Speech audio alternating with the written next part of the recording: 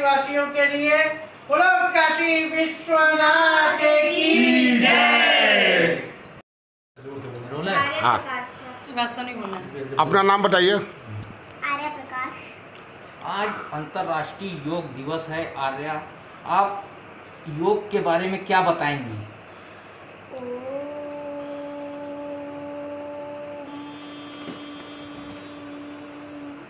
नमस्कार। आप सभी को 21 जून वैश्विक योगा दिवस की हार्दिक शुभकामनाएँ। ओम सर्वे भवन्तु सुखिना, सर्वे सन्तु निरामय, सर्वे भद्राणि पश्यन्तु, माँ कश्यति संभवेत मैं आर्य प्रकाश, आज कुछ योगासन के नाम बताती हूँ।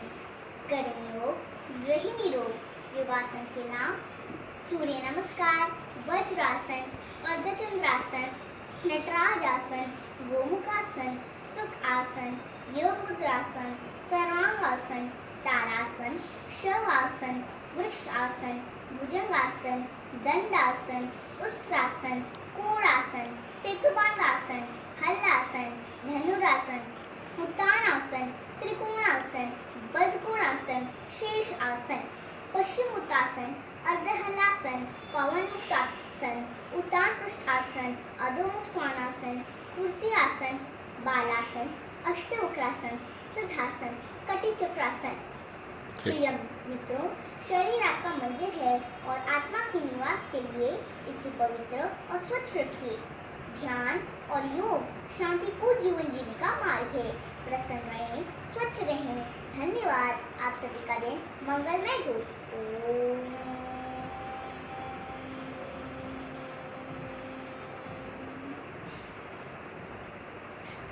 से बताएँ। निधि देव अग्रवाल आज ये किस तरह का प्रोग्राम था और क्या रहा आज? आज कौन सा त्यौहार था आज? निर्जला एकादशी का पर्व। काशी में बड़े धूमधाम से मनाया जाता है।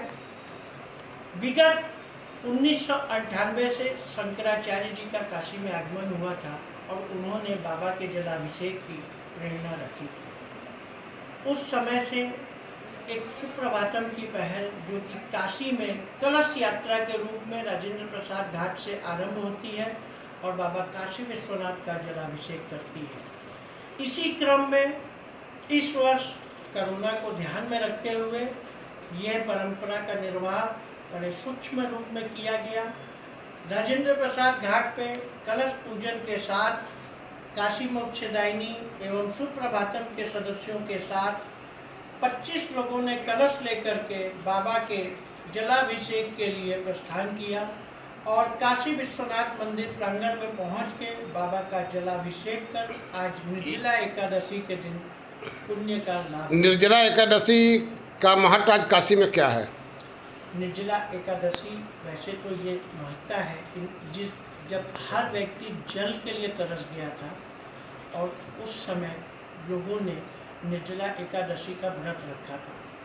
और इसका बहुत ही परंपरागत महत्व है। इसके कार्य से परिवार में सुख शांति और वातावरण सुखद होता है।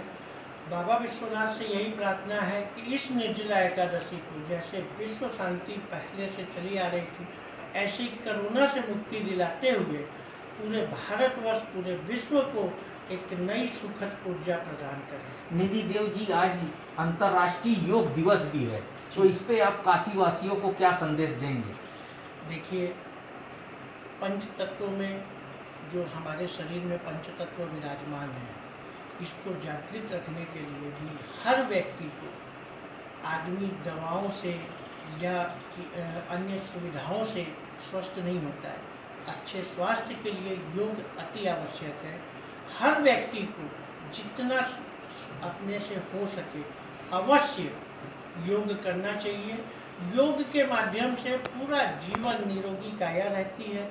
आदमी को अपने शारीरिक किसी भी प्रकार की पीड़ा नहीं उत्पन्न होती इसलिए हर देशवासी से मेरा अनुरोध है कि योग दिवस हमारे लिए जो प्रेरणा के रूप में आज मनाया जा रहा है, इस प्रेरणा को अपने अंदर जागर करें और हर व्यक्ति कुछ क्षण प्रातःकाल योग अवश्य करें अपने स्वास्थ्य के लिए, अपने भविष्य में, अपने बच्चों के लिए, उन युवा पीढ़ी के लिए जो हमारे साथ जी आज